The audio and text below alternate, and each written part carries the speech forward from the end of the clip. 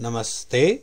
In this video, we are going to use this Newton-Cotes formula which we have generated or derived in previous video to find the integration of functions. Okay. So these are the three formulas where n equals to 1, n equals to 2 and n equals to 3. So let us consider a functions. Okay. Let us consider a function as fx is equals to x square okay? f of x is equals to x square. So when n equals to 1 we use this formula yes?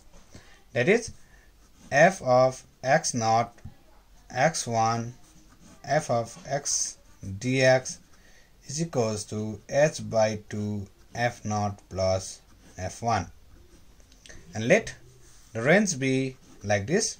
For example 0 to 2 fx dx so since n equals to 1 h is equals to x1 minus x0 divided by n is 1 so h is 2 now we have to find the value of f0 and f1 so f of x naught is equals to 0 it is 0 so it means 0 square is 0 similarly f of x1 it is equals to 2 so 2 square is equals to 4 so we use this formula that means f of 0 to 2 integration fx is equals to formula is h is 2 so 2 by 2 and f naught is 0 plus it is 4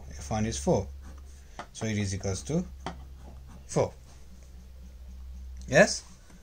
Now we use same function and find its integration by using this second Cotes formula okay? Second Newton's Cotes formula. So for this we need n equals to 2 that means you write x naught to x2 fx dx is equals to h by 3 f naught plus 4 f1 plus f2 okay? So we have to calculate it. Okay? 0 to 2 fx dx.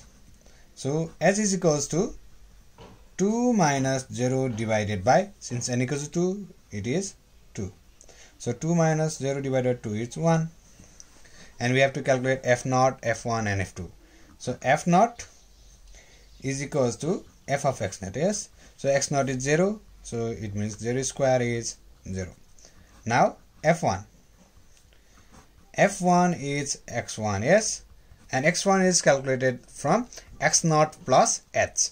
So 0 plus x naught is 0 0 plus h means 1 0 plus 1 is 1 yes? So f of 1 is equals to 1 square. It gives 1 similarly f of 2 it is f of x2 and x2 is 2 so it is 2 square it is 4 that means we apply the formula like this. So it is 0 to 2 fx dx is equals to h is 2 sorry 1 h is 1 by 3 f naught is 0 plus 4 into f1 is 1 plus f2 is 4 so it is 8 by 3 okay?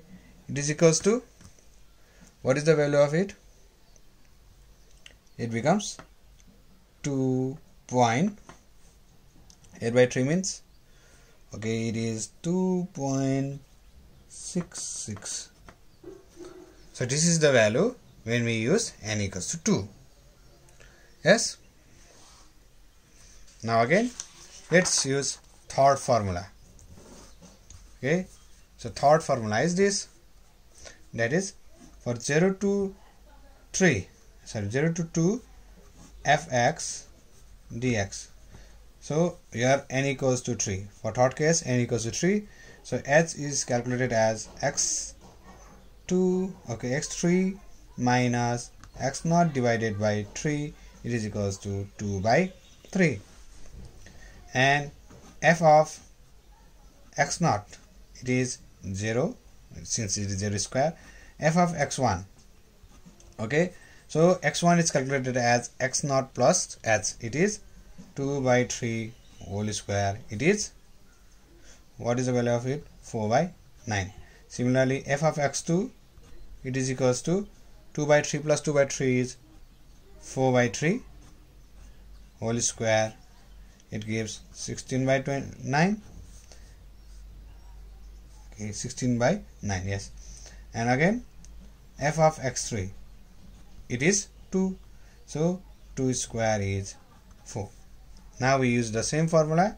So z to 2 fx dx is equals to 3 into h is 2 by 3 and f naught is 0 3 into f1 is 4 by 9 plus f2 is 16 by 9 plus f3 is 4 so what is the value we get?